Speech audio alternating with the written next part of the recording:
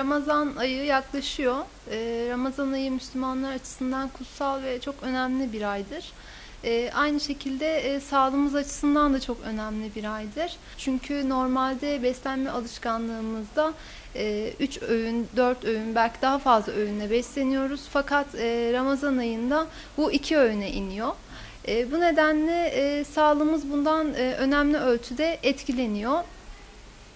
E, normalde daha az az yiyoruz, e, daha sık besleniyoruz. Fakat Ramazan ayında e, sahurda e, aç önümüzde bulunan uzun bir açlığı olacağından dolayı e, fazla yemek yemek, e, iftarda ise e, uzun bir açlıktan sonra karnımızı doyurma isteğinden dolayı fazlaca yemek yiyoruz. E, Aynı şekilde bu şekilde beslenmek de metabolizmamızı yavaşlatıyor. Metabolizmamızın yavaşlaması aynı zamanda bize kilo alımı olarak geri dönüyor. Bunu e, engellememiz için Ramazan'da e, beslenmemize dikkat etmeliyiz.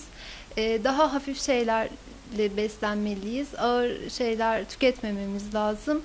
E, iftarda e, çorbayla başlamalıyız mutlaka ve bunu yavaş yavaş e, içmeliyiz. Böylelikle e, o uzun dönemden gelen açlığı biraz hafifletmiş olacağız.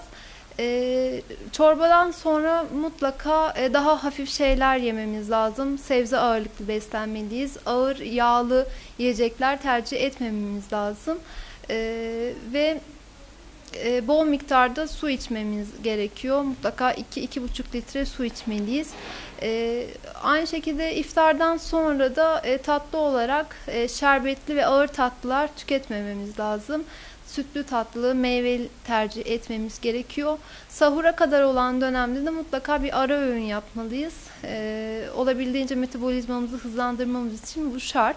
Yine bu e, ara öğünde meyve tüketebiliriz, sütlü tatlılar olabilir. E, bu şekilde hafif atıştırmalıklarla e, üçüncü bir öğünü de mutlaka yapmamız lazım. Aynı şekilde e, metabolizmamız, yavaşlayan metabolizmamızı hızlandırmamız için e, egzersiz yapmalıyız. İftardan sonra mutlaka yürüyüş yapmalıyız. E, ailemizle bunu e, hem güzel bir sosyal aktivite olur hem de sağlığımız açısından e, güzel bir etkinlik olmuş olur.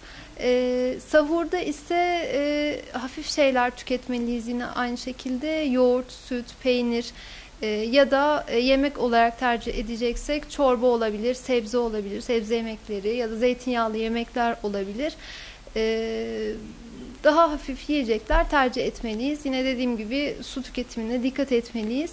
E, su kaybını sağladığı için de çay ve kahve tüketimini bu dönemde olabildiğince azaltmamız gerekiyor. E, gazlı içecekler, hazır meyve suları e, olabildiğince az tüketmeliyiz. E, bunun yerine daha çok ayran, e, normal evde hazırladığımız meyve suları olabilir. E, daha çok doğal şeyler tüketmeliyiz. Çünkü e, hazımsızlık yaşayacağız bu dönemde fazla yemek yediğimizden dolayı. Gazlı içecekler daha fazla hazımsızlığımızı artıracak. Yani olabildiğince az. Hatta hiç tüketmesek daha iyi olacaktır.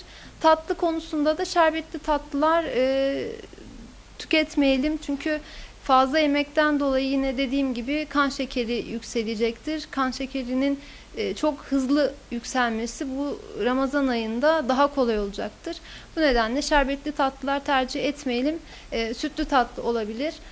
Ee, bir kase sütlü tatlı, e, birkaç adet meyve olabilir, elma, armut tarzında meyvelerde birkaç birkaç tane olabilir. Ee, genel olarak baktığımız zaman e, bütün e, bir yıl boyunca yemek yiyoruz, bir şekilde hani yağları depoluyoruz.